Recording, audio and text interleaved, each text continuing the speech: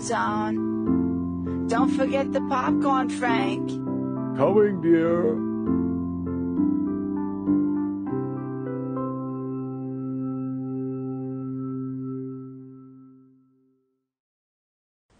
Um, now, you need to understand beyond those general rules, though, this kind of basic story about how mass health works.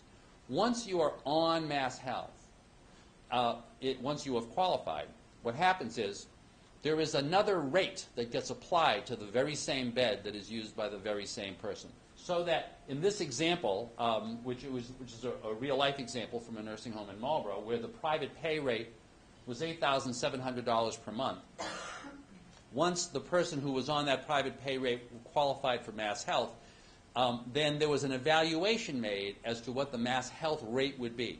Now, those ra- that gets determined according to a chart that Mass Health has, and there are 10 different categories in the chart, and each category is based on how many estimated nurse minutes per day. Yes, there is such a thing. Estimated nurse minutes per day that have to be spent on that nursing home resident.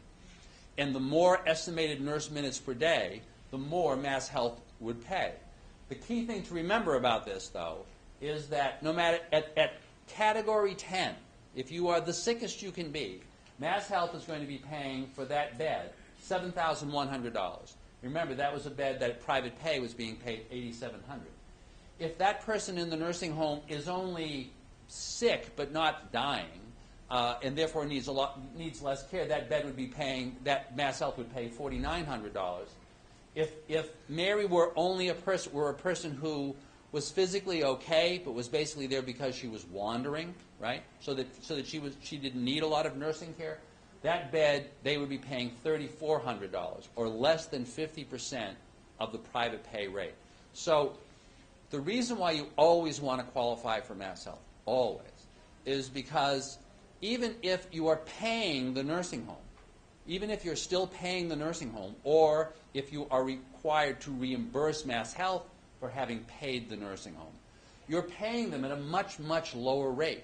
So the burn rate on your money, the, the, the rate at which your money shrinks, really is significant, can be significantly lower. And I'm going to give you that example. Next slide. so, to quali- if you want to qualify for this D4C pooled trust, as I mentioned, it has to be a separate nonprofit entity. The payments, and I've described that, have to be for supplemental needs. You're going to pay an application fee, which tends to be about $750 to $1,000. And there is going to be a provision that following the death of the person that's in the nursing home, uh, they will take a percentage of the remaining money. Most of them take 25%.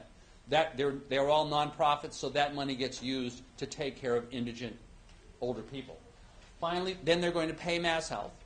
And finally, any remaining money can get paid to the heirs. And by the way, the heirs don't, don't necessarily need to be the people who are named in the will.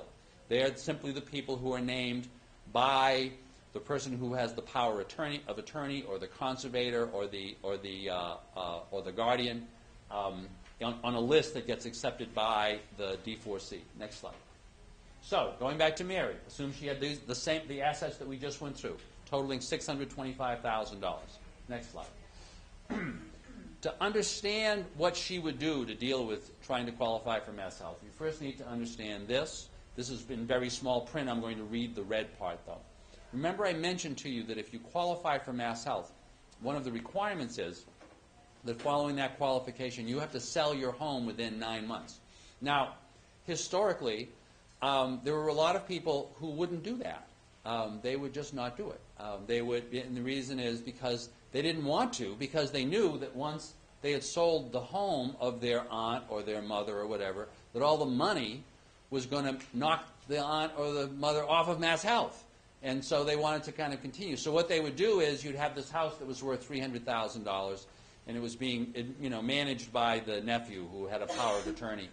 And at the end of the nine months, he'd go back to Mass Health and say, you know, I made my best efforts to sell this house, but, you know, I listed it for $500,000, and there were no takers, right? So people would list properties for these huge amounts, and then not have a buyer, and then the property would just kind of continue. So it would go for years without these properties selling. So what Mass Health did, in an attempt to close that loophole, is they added this language into their regulation, and they said once the property is for sale, quote, an offer to buy real estate is considered reasonable, and that is, it ha- and that means that it has to be accepted. It is considered reasonable if it is at least two thirds of the fair market value, unless the individual proves otherwise to Mass Health's satisfaction. So, in other words, if Mary's nephew decided to take that $300,000 house after Mary had qualified for Mass Health, which she can do and still own the house, and sell it to himself for $200,000, that's okay. Now, if he had done that the day before she qualified for Mass Health, it wouldn't have been okay. It would have been a $100,000 gift because he would have gotten a $300,000 property for only $200,000. But the day after, he, after she qualifies, the house can be sold for a third off, which is we use as oftentimes as you know really a planning tool. Next slide. So assume that that's what happened with the house. That Mary, the house got sold for for two thirds of three hundred thousand dollars, which means two hundred thousand. Assume that Mary took the the the, the one hundred fifty thousand in the IRA and pulled all the money out and paid tax on it, and we're assuming a fairly low tax. So assume that she got one hundred thirty-five from that. Assume that she took the $100,000 annuity, paid some penalty on that, and as you know from a lot of you from dealing with annuities, a lot typically there's a penalty provision for early withdrawal. So that she ended up with 90, and assume her bank account stayed the same. So Mary then would have $500,000 that she would need to spend down. Next slide. Well, if Mary were spending that money at the at the private pay rate for that nursing home bed, using the numbers that we had used, um, then she would be spending down the money uh, using uh, the little green bars. And at the end of a year, she would have gone from about $500,000 down to about $400,000. If, on the other hand, Mary were had qualified for Mass Health, the money were being spent by, by Mass Health at the Mass Health rate, then at the end of that year, she, instead of having spent about $100,000, she would have only spent about $50,000. Next slide. So, using private pay at the end of one year, Mary would have ended up with $407,000 in the bank. If, if, on the other hand, she had taken all the money and put it into the D4C, she would have ended up at the end of that year with $452,000 in the bank. Now remember, it, it, now remember, remember that, that at that point, she would have also re- reimbursed Mass Health for any of the money that Mass Health had spent. Now, in addition to that, before the money could come back to Mary's heirs, there would have to be a 25% uh, commission paid to the D4C. So in that case, in this case, if she was only there for a year, uh, then, then at the end of that year, if Mary died, there would have been a greater cost to doing the D4C than there would have been to doing on private pay. Because at the end of the year on private pay, there would have been 407,000 left. At the end of the year doing the D4C, there would only be $339,000 left.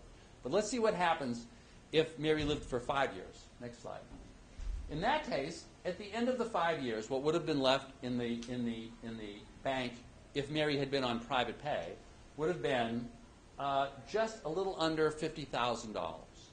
On the other hand, if she had put all the money in the D4C, and then she had died, and then the D4C had reimbursed Mass Health for what they had paid, what would have been left for the heirs would be o- a little over $250,000.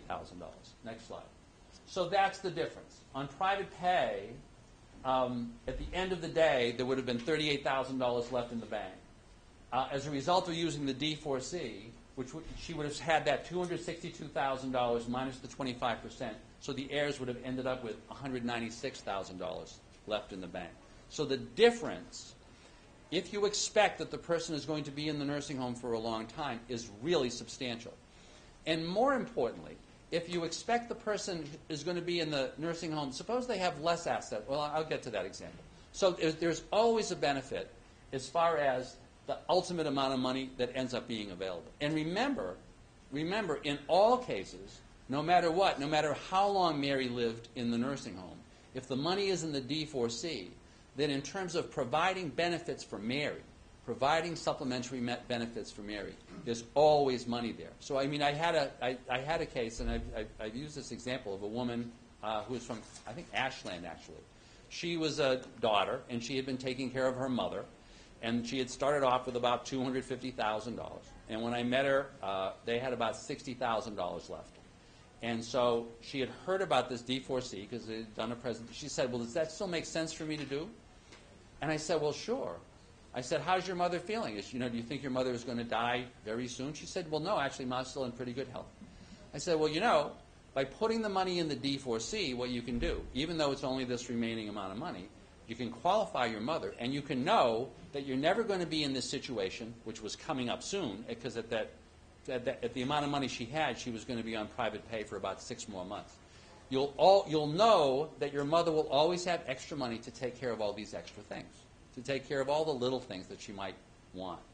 So she ended up doing this, and we put the money in the D4C, and we qualified her, her mother for Mass Health. Uh, and then the social worker from the D4C came out and was and we were talking, uh, and was talking to this woman and said, "So you know what?" This, the mother was about 95 years old.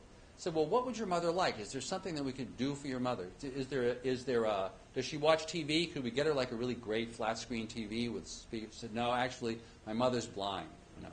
Well, could we get her like a great CD player? You know, and so no, my mother's is deaf. Is deaf. And so, so, so we're just we're just talking. So, well, you know, do you ever take your mother out? Well, no, she's really, really sick. You know, she really can't get out. And so the woman said, then said, well, you know, is there any special food that your mother would really like? And the woman said, oh, she said, you know, we grew up poor, um, but like once a year we'd go out for lobster. My mother loved lobster. And the woman said, well, you know, as long as your mother lives, she can have lobster now anytime she wants. Anytime she wants. This is an old lady that had very little and is not in great shape, but at least in terms of that one thing that can improve her quality of life for the rest of her life, there's always going to be money available, and it's because of the D4C. But, but going back to some other examples, just so that you kind of get a sense how, of how this works. Suppose Mary had started off with $200,000. Next slide. Then, at the end of a year, if she had been on private pay, uh, what she would have had left was $107,000 at the end of just one year, if she had been, if she had put the money in the D4C, there would have been $114,000 left. So when, for people who have smaller amounts of money, very quickly the D4C becomes more beneficial than doing anything else. Next slide. Second example, suppose Mary had only had $100,000. So she had spent down her other money or she just didn't have much in savings. She only had $100,000. Next slide. At the end of one year, on private pay, Mary would have had $7,600 left.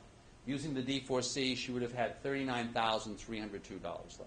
So that there are, there are almost immediately significant effects to using the, to using the D4C. Next slide.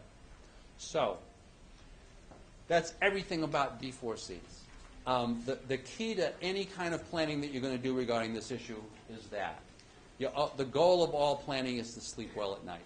It may be that this makes no sense for a person who is heading for a nursing home, but for some people, and I think, and I would say for a lot of people, it does make sense. And the main things to take away from this are it. The main thing to take away from this is you can always qualify for Mass Health. You want to figure out whether it's to your advantage to qualify for Mass Health, but you can always qualify. Thank you very much.